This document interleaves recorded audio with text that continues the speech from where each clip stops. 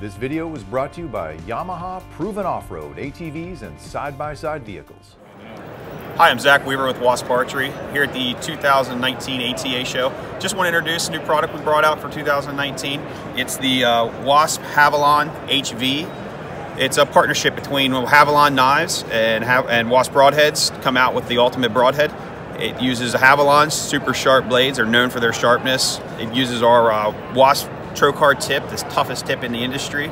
I'm real excited about it. Use some uh, aerospace uh, aluminum on it. Tolerances are really tight. Everything's working really well. It's flying fantastic. So check them out. We're real excited about it.